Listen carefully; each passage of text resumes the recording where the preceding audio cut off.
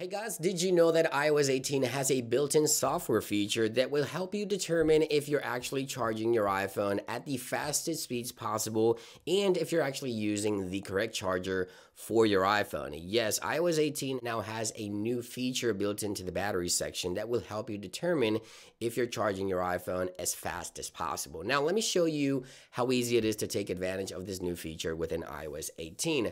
Now, obviously I have two chargers sitting here on my desk. I have a 5 watt. These are both Apple chargers. So I have the 5 watt USB-A Apple charger and I also have the 20 watt Apple charger USB-C as you see right there. Now the first one I'm going to go ahead and test is the 5 watt. Now keep in mind that the iPhone 15 Pro Max that you see on my desk is capable of up to 27 watts of fast charging. So let's go ahead and plug this in the 5 watt charger first. We're going to go ahead and plug it in. Here we go and take a look at that. We're now charging at 5 watt speeds. Now keep in mind that you may want to wait at least 30 to 40 seconds until your iPhone can determine if the charge is optimal for your device using this specific charger. So let's jump into settings here.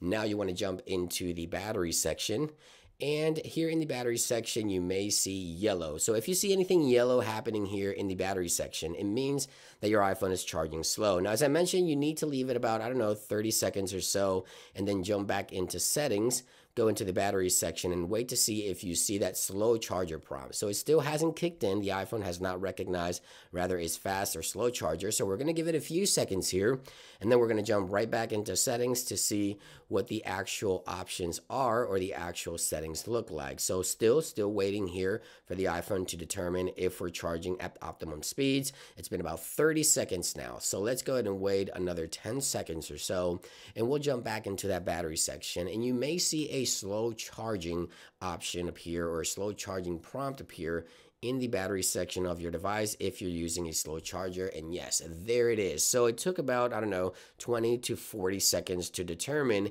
if this iphone was actually charging at its optimum speed or if it was charging slow. As you see there's slow charger. So that means that at this point i'm using a slow charger. So that means i need to replace it. So if you buy a charger that claims to be fast but you see this yellow on the charging meter it means you're actually charging your device slower than you could be charging your device. So now we're going to go ahead and do the same thing, but we're going to be using the actual 20 watt charger. So let's jump into the settings of this iPhone. Let's make sure we're not charging, obviously. So let's go here and take a look at that. There it is. We're not charging. So now we're going to try the 20 watt charger here. So this is also compatible with MagSafe chargers. So if you buy a Qi 2 compatible wireless charger, but you see those yellows on the actual meter, it means you actually have a slow wireless charger. So just keep in mind that this also works with MagSafe. So if you have the MagSafe and the Qi 2 compatible MagSafe, then you shouldn't see those yellows on the charging meter. Keep that in mind. If you do, it means your MagSafe is a slow one. You may want to replace it as well. This one is the Apple Authentic, so this one can charge up to 15 watts of wireless charging. So let's jump into settings here.